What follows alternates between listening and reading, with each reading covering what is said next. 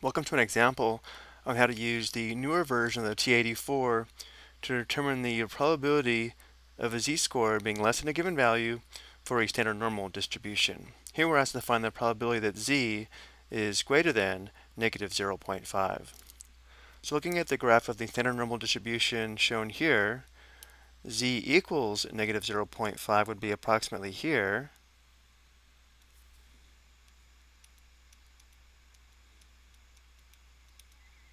and therefore the probability that z is greater than negative 0.5 is the same as the area under the standard normal distribution curve to the right of negative 0.5, which should be this area here.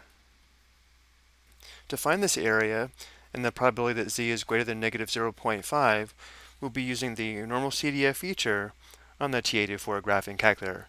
Well, we'll enter a, b, mu, the mean, and sigma, the standard deviation, where this command gives the values of the cumulative normal density function occurring between x equals a and x equals b. And this would also be the cumulative area under the standard normal distribution between a and b. However, if we set mu equal to 0 and sigma equal to 1, then a and b would be the lower and upper bound z-scores, which is what we'll do to find our probability.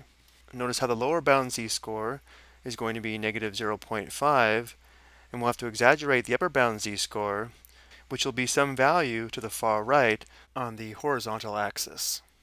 So we begin by pressing second vars for distribution.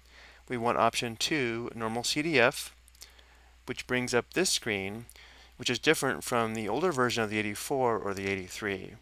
Again, our lower bound z-score is going to be negative 0.5, and again I'm saying z-score because we are going to use 0 for the mean or mu and 1 for sigma or the standard deviation.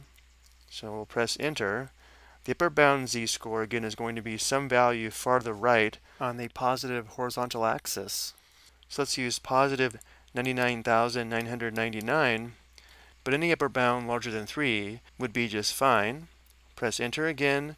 Notice how mu and sigma are already 0 and 1, so we'll press enter down to paste, and we'll press enter on paste, which copies all the information back to the home screen.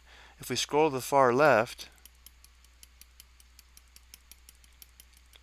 notice how we have normal CDF, and then we have the lower bound z-score, the upper bound z-score, mu, and sigma. So now if we press enter, this will give us the area to the right of z equals negative 0.5 under the standard normal distribution, which is the probability that z is greater than negative 0.5. So the probability as a decimal is approximately 0.6915.